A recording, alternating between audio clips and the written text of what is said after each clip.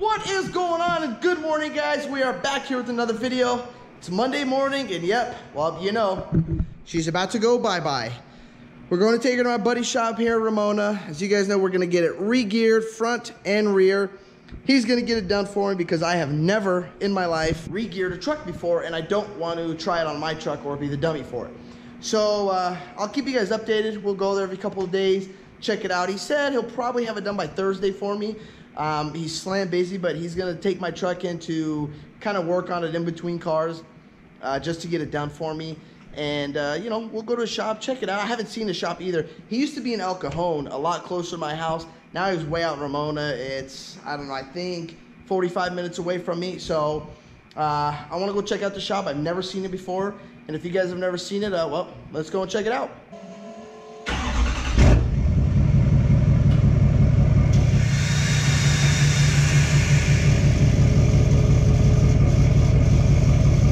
What I want to do right now is see at what uh, speeds, whatever speed I'm at, I want to see the RPM and then compare it to when we re-gear. So as of right now, we are doing, here, I'll go 65, and we'll compare fuel mileage also. Right now I'm getting almost 15 miles to the gallon. Now, I'm going to set, I'm going to turn the cruise control on here. There you go. Okay, so Okay, cruise control is set to 65 miles an hour. So we are doing 65 miles an hour at about, just at about 1500 RPMs. And we are on flat ground right now. No uphill, no downhill, nothing. So 65, 1500. Now let's go to 70. Here we go here. EGTs are climbing a little bit, not bad. All right, they're dropping now. So we're doing 70, I would say at about 1700 RPM. We re-gear the thing. We're gonna compare it again and see what those numbers are at, if they change, and uh, if I feel any more torque. Now, when I climb this hill, the 67, I will show you guys the problem that I'm having with this truck. All right, guys, so this is the hill right here to go up to 67. It's currently in sixth gear. See that number at the top with the lock? That's letting me know that the torque converter is locked. So we're going up at sixth gear. My foot is about halfway in the throttle. Now you see these EGTs. They are above 1200. And look, the truck is just dying right now. It's probably gonna shift. There it goes. It just went to fifth right now and locked the, the torque converter. And it is going, hold on, I don't want to hit this truck over here. So my foot is, oh, I just checked to see how much I was in. So I was, I'm in it at about 75% right now with my foot. And we're at 60, I don't know, 62 right now. My EGTs are through the roof. Look at that, almost 1400. That's ridiculous. Now, when I go into fifth, I can let off a little bit. Look at my EGTs. Dropping dramatically. Temperature's even dropping. And I can still, got plenty of power. EGTs are still 900. Let me get around this truck. And two, little, about about two is my sweet spot. See, I can get it and it will go, no problem. EGT stay at about 11, 1,000 to 1,100, still in fourth gear.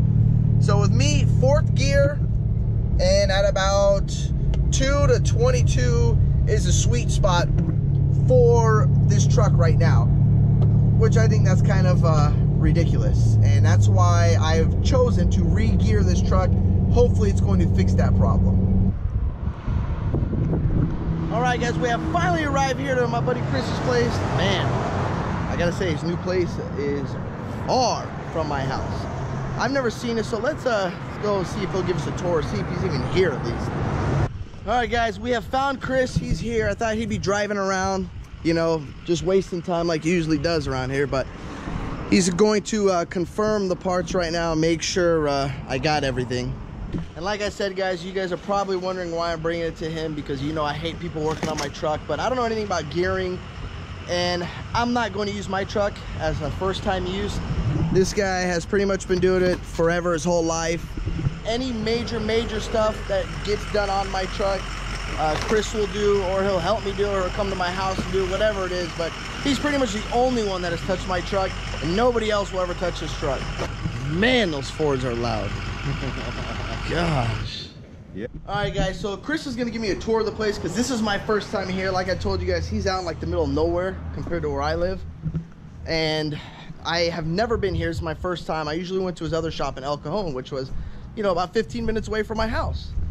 Now, here he is out here in Ramona, working on the big boy stuff. Wow, what are you doing to that tractor? Uh, swing motor. Nice, nice. So does this place have more room than your old shop or no? Yeah, it's all split up. It is all split up. behind those trees. All the way over there, you own that too? Yeah. Wow. It's like a whole gated. Yeah. Dang. There we go. Look at all the old Ram right there with the stackers on it. Here we go. Here we go.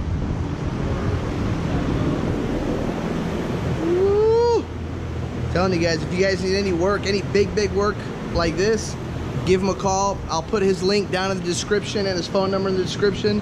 He does all this big, crazy stuff. I don't, I don't pull motors and do anything like that with these diesels. He's the man right here that's gonna do it all for you guys. Where's my buddy Bob at?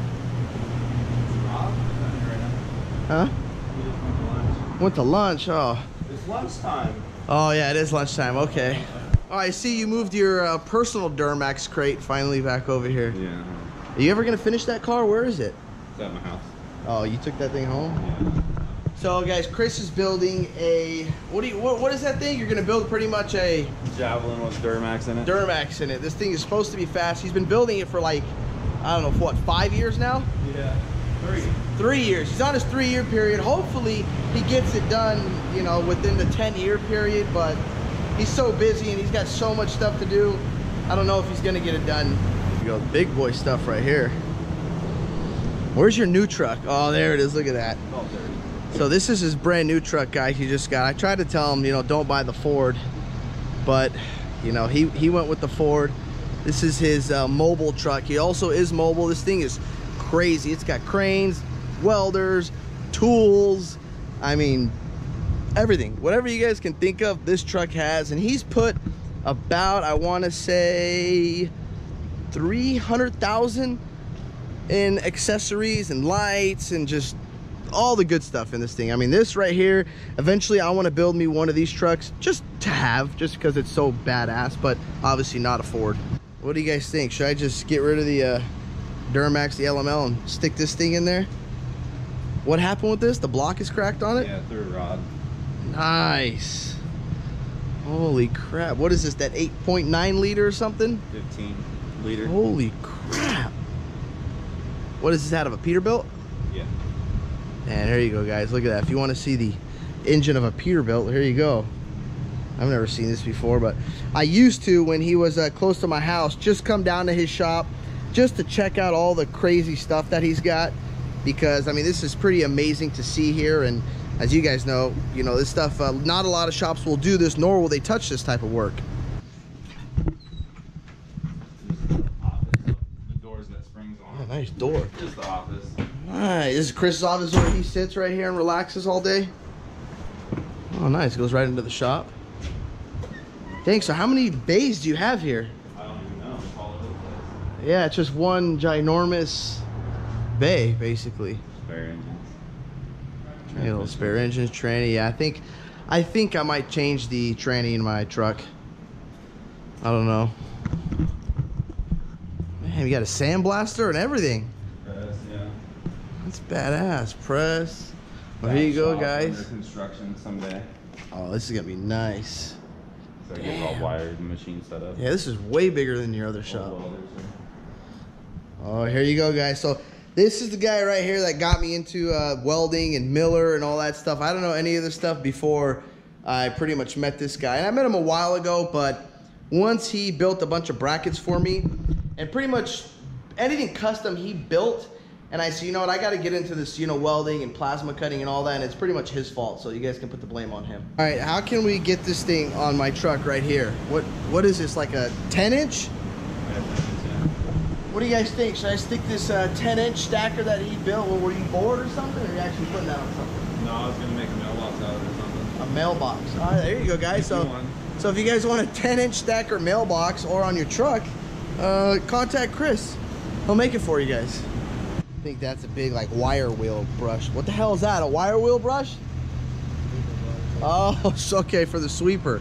I was gonna say, damn, how big is a drill that thing's gonna go on?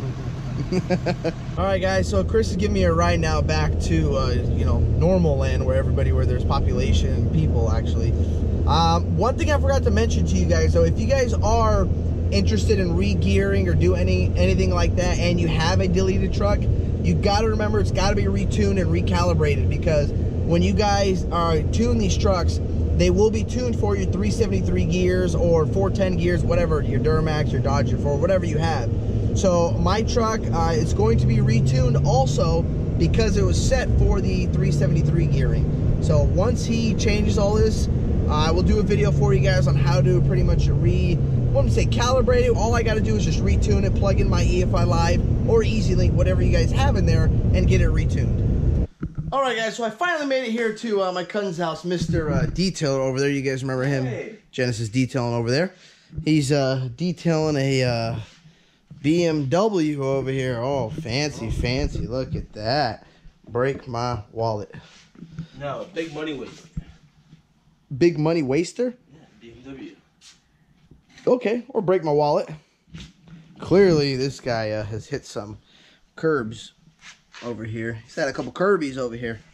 Looking good. What do you think, George? George approved? Pretty good, pretty good. All right, thank you, George. That's our buddy George over there. He's uh, here just to get some stuff done, you know. So there you go, guys. You know, you guys saw it. You guys saw Chris's shop. The truck is gone. I know. I'm so sad. I'm gonna miss her. She. He said he'll be done. I think Thursday. I dropped it off a little late to him. I was supposed to be here this morning, but didn't have time. So he's gonna start on it tomorrow. He said hopefully by Thursday, uh, Friday he'll have it done. And if he's got all taken apart by tomorrow, I'll, if I have time, I'll head to his shop tomorrow and show you guys uh, pretty much what it looks like in that rear end. And uh, see, you know, hopefully get the majority of it done. So that's all I got for you guys today. If you guys like this video, hit that thumbs up. And don't forget to click subscribe. Go ahead, tell them bye. Peace. I don't know. I gotta do that again. No, no, yeah, that's that's you, you gotta peace with the camera. Come, come on, The what? come on. We ain't got all day. Peace. No, but you got uh, okay. I'll do it. Yeah.